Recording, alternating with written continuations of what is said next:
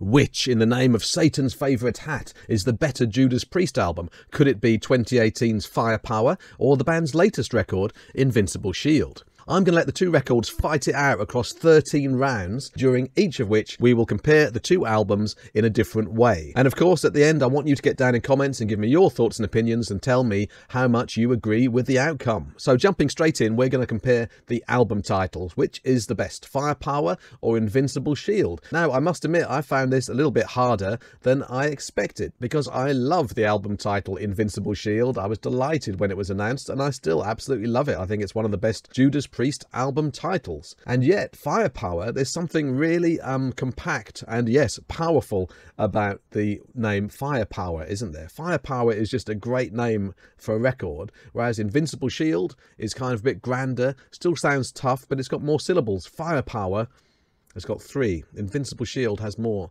Not that it's all about syllables, otherwise, the best album title ever would just be Ni. We can't have that, can we? But you know what? I actually think that Firepower just nudges it past the post just a touch more than Invincible Shield. I think they're both great album titles, but I actually think, and I'm kind of surprising myself with this, that Firepower has a slightly better title. Yes. On to round two we go, where we will compare the album covers next. Now, this should be an interesting one. The Invincible Shield album cover has attracted I think, undue criticism. Well, a few people seem to really dislike it. I can understand why, in the sense that there's not too much going on in it. It's kind of just a picture of a shield. But I love the colours of uh, the shield, and I think the composition of it is great, and it's really eye-catching and kind of delightfully lurid, I suppose you might call it. Very bright and full of character. The Firepower album cover, meanwhile, is kind of a more of a traditional uh, priest cover. It very much recalls the covers of Screaming for Vengeance and Defenders of the Faith, and I'm guessing that was a, a statement of intent, wasn't it? Because I think with Firepower, Priest really wanted to say, you know what, this is our real comeback album since Rob came back and it absolutely was, wasn't it? So which one is the best? I honestly love both. I think they're both great, but Firepower pips Invincible Shield to the post because I think it's more dynamic. Great big laser cannons being fired, and you get the sense that something is happening, whereas Invincible Shield is kind of a shield that looks like it's on fire or being covered with lava or whatever is going on there, but Firepower feels more dynamic, and so that's why it gets the point, which means that Firepower is 2 0 in the lead as we go in to round 3. Production quality. Now, Firepower was co produced by Tom Allom and Andy Sneap, the veteran metal producer who's made a huge name for himself in metal production circles, as well as playing guitar for Priest live. Andy Sneap gets sole production credit, as far as I'm aware, for Invincible Shield. So, purely in terms of production quality, which is the best? Well, as I'm sure you'll agree, Firepower has an amazing production. It's really clear, just super clear. Now that we have Invincible Shield, I feel a little bit like Firepower just sounds ever so slightly not sterile. Sterile is not the word because it doesn't sound overly produced or anything like that. And it's got the guitars have got a lovely warmth and crunch and depth to them, which Andy seems to really be gifted with in terms of production. But what Invincible Shield does have more of is texture. And obviously, it's kind of a little bit hard to separate this from songwriting. But I feel that there's more depth to this production, and it's possibly because everyone's learnt more, I guess, but also because this album had more time devoted to it thanks to world events. There's always a silver lining. I also think that Invincible Shield has slightly more of a live feel.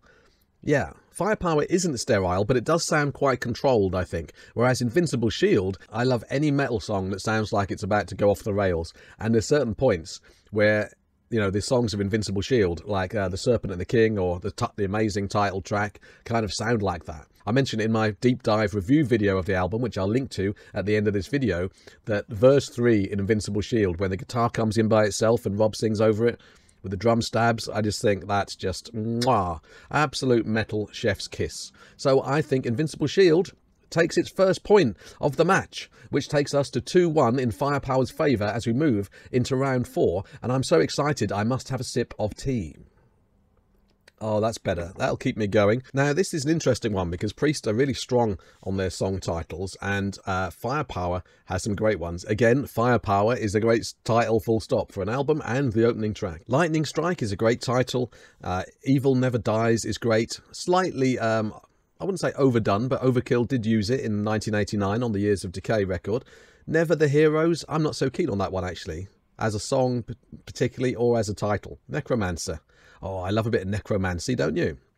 Uh, Children of the Sun, that's a kind of a bit of a generic kind of trad metal type of title. Children of the hmm, Guardians, Rising from Ruins. Oh, that's a great song as well. Great title. Flamethrower is pretty cool. Spectre is a classic Judas Priest title. Traitor's Gate is a great title. No Surrender is a brilliant title. Lone Wolf it's a bit of a different one, that isn't it? All round as a song and as a title. Sea of Red is a good title.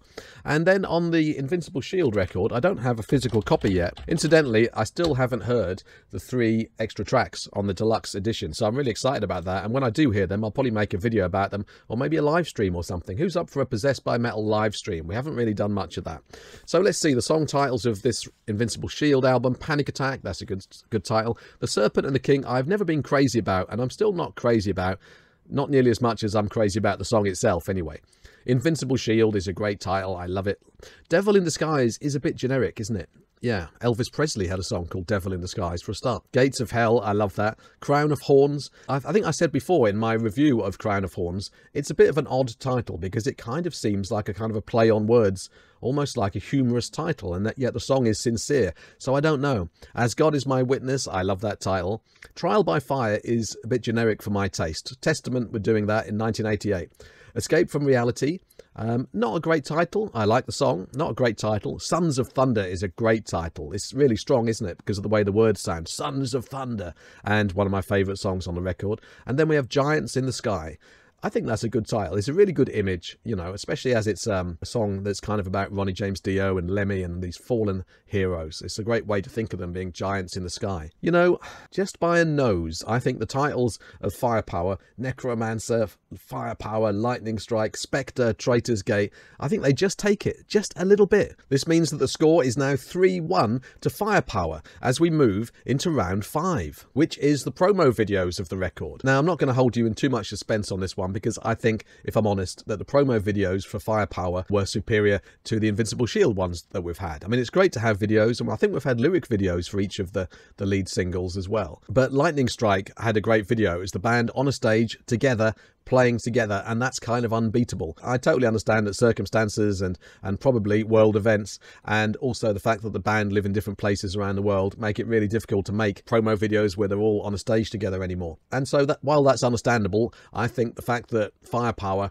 had a lead single with, you know, what you might call a proper promo video, not something that's kind of cut together, all the band members standing individually in the woods, as was the case with Trial by Fire, means that Firepower just had better videos. You know, the reasons are understandable, but the facts are undeniable. It's another point to firepower. Oh my good God, that means that firepower is leading four points to one as we enter round six. And this round is a tricky one, the opening track. So that means it's firepower versus panic attack.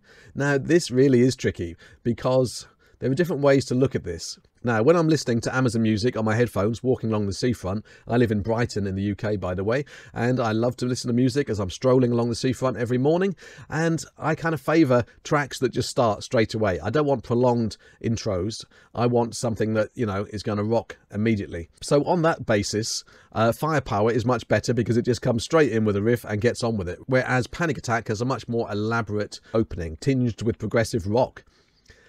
So, does that mean that Firepower is a better opening track than Panic Attack? I don't think it does because I'm thinking about it in that specific walking along the seafront, wanting the song to start straight away kind of fashion. But really, when you compare the songs, I think Panic Attack has more going on, really, and it's more intense overall, even though the chorus of Firepower is really intense. And actually, when I replayed the album yesterday, I was kind of reminded of how intense Firepower is as a track. They're both fantastic opening tracks, but the point goes to Panic Attack. I'll be very interested to hear what you think about this in comments. I mean, all of these points I want to hear your opinion, but this one in particular, it could be a bit of a battle, I think, in the comments. So, Firepower has four points, Invincible Shield has two, as we move on to vocal performances in round seven. One of the great tragedies of this world is that Rob Halford hates the sound of his own voice. I had either never known this or I'd forgotten about this until Rob said it, I think, in his really good interview with the Metal Pilgrim channel. Yeah, I can't stand the sound of my voice. I just I just cannot get into a place of peace with it. I'm just always struggling to accept that this is the best I can do. You absolutely must subscribe to Metal Pilgrim if you haven't already, and also to my very favourite metal YouTube channel, which is. Welcome to Thralls of Metal. How can the man with the finest metal voice on the planet hate his own voice? It's just not fair. It's terrible. But then again, maybe the fact that he hates it and he just constantly strives to improve himself makes him so good. Oh, what a head wrecker that is. So, on which album is Rob's vocal performance the best?